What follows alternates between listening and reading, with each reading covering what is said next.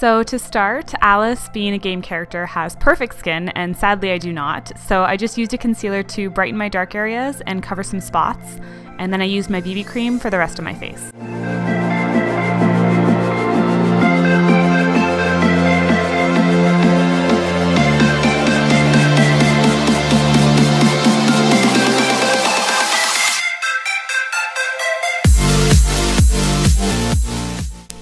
I followed that with a cream white pencil that I applied to the high points of my face and blended out just to help give a bit of a fairer complexion.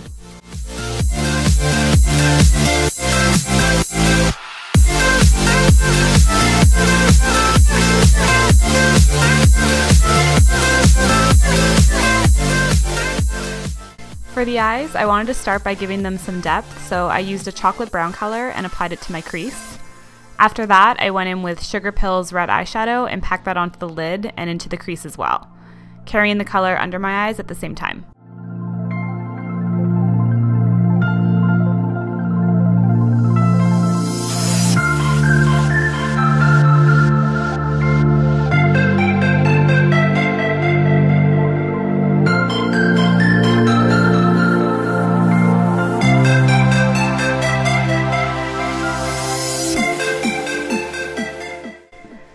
Back with the darker brown on the inner and outer corners of the eyes just to help give them some shape so they don't appear as flat.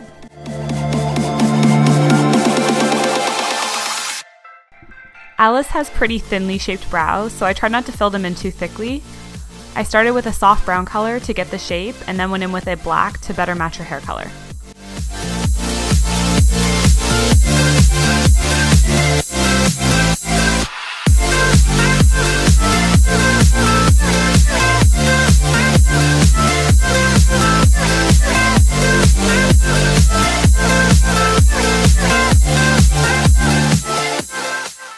With the brows complete, I quickly lined the top of my eyes with a black kohl pencil and blended it out with a brush. Her eyes have more of a smoky look to them, so I didn't want to add any liquid liner as it might look too harsh. And then I also carried the black onto the lower lashes and waterlines and blended out as well.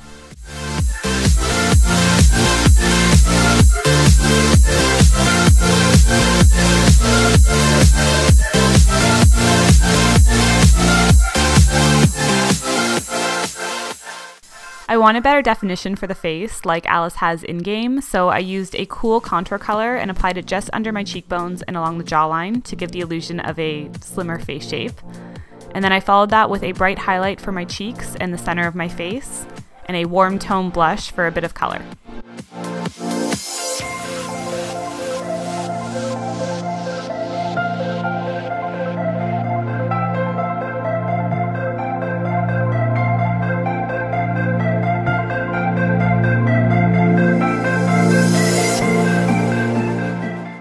Also made sure to go along the sides of my nose with the contour color, as Alice has a much slimmer shaped nose than I do.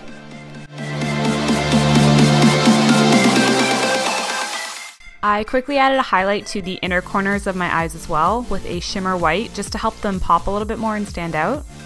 And then I moved on to the lips. Alice has very warm and brightly colored lips that pop against her skin tone, so I went with a soft pink liner and then added a vintage pink lipstick over top. Then as a finishing touch, I just threw on some lip gloss to give an even brighter finish.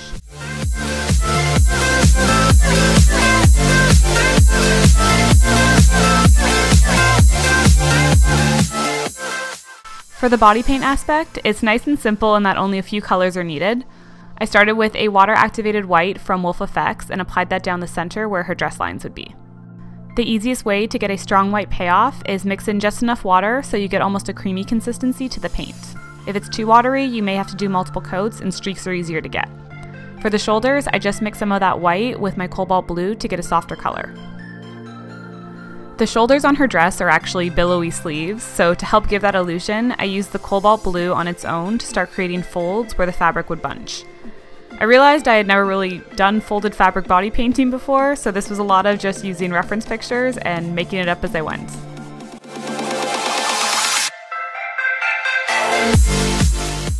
For the necklace, I used my black hydrocolor and a thin detail brush.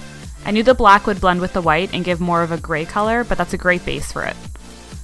When you have a rough shape of what you want, just fill it in and then add the straps that would go up and around the neck.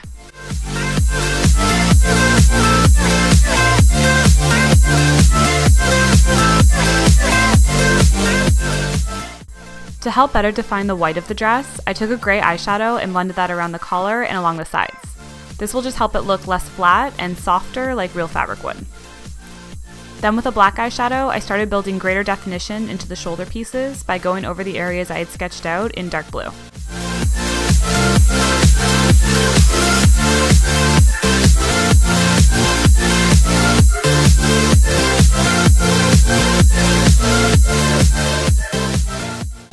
I quickly jumped back to the white to add the stitch marks she has on her dress. Because of the gray shadow, I was able to use straight white to base them out. And then on the shoulders, I used a dark blue eyeshadow to give more impact to the fabric and help create highlights and lowlights on the folds.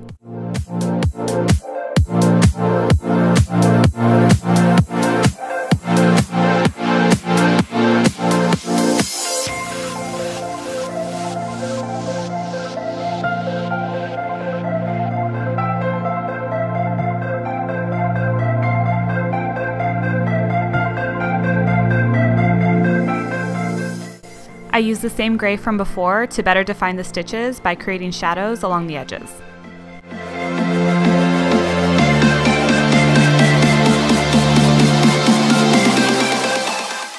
For the necklace, I just went in with some black and white eyeshadows to try and create the illusion of light hitting it, and then finished it with a white face paint for reflect. Last touch was to throw on a black wig, and that was it.